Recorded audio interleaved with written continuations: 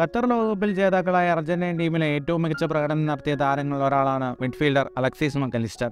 ഇരുപത്തിനാലുകാരനായ Alexis Mac Allister രണ്ടായിരത്തി പത്തൊമ്പത് മുതൽ പ്രീമിയർ ലീഗ് ക്ലബ്ബായ ബ്രൈറ്റന്റെ താരമാണ്.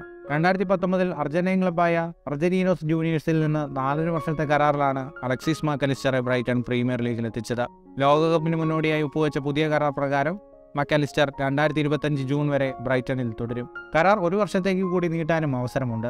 ലോകകപ്പിലെ മികച്ച പ്രകടനത്തോടെ മക്കലിസ്ഥല സ്വന്തമാക്കാൻ പ്രമുഖ ക്ലബ്ബുകൾ രംഗത്തെത്തിക്കഴിഞ്ഞു. എങ്കിലും ജനുവരിയിലെ മിഡ് സീസൺ ട്രാൻസ്ഫർ വിൻഡോയിൽ മറ്റൊരു ക്ലബ്ബിലേക്ക് മാറാൻ മക്കലിസ്റ്ററിന് താല്പര്യമുണ്ടായിരുന്നില്ല ബ്രൈറ്റണ് അർജന്റീൻ താരത്തെ വിട്ടു നൽകാനും താല്പര്യമില്ല പക്ഷേ വരുന്ന സമ്മറിൽ ബ്രൈറ്റണ് മക്കലിസ്റ്ററെ ടീമിൽ നിലനിർത്താൻ കഴിയില്ലെന്ന് ഉറപ്പായി കഴിഞ്ഞു. മാഞ്ചസ്റ്റർ സിറ്റിക്ക് മക്കലിസ്റ്ററെ സൈൻ ചെയ്യാൻ താല്പര്യമുണ്ടെന്നാണ് പുതിയ റിപ്പോർട്ട് സിറ്റിയുടെ ഓഫർ വന്നാൽ മക്കലിസ്റ്റർ സ്വീകരിക്കാൻ സാധ്യത വളരെ കൂടുതലാണ്. ഈ സീസണോടെ കരാർ അവസാനിക്കുന്ന ജർമ്മൻ താരം ഗുണ്ടോഗൻ ടീം വിടുമെന്ന് ഉറപ്പായിട്ടുണ്ട്.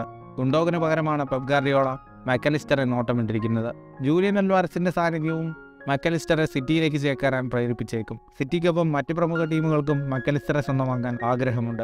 ഫുട്ബോൾ ലോകത്തെ കൂടുതൽ വാർത്തകൾക്കും വിശേഷങ്ങൾക്കുമായി സ്പോർട്സ് കഫേ ഇപ്പോൾ തന്നെ സബ്സ്ക്രൈബ് ചെയ്യുക.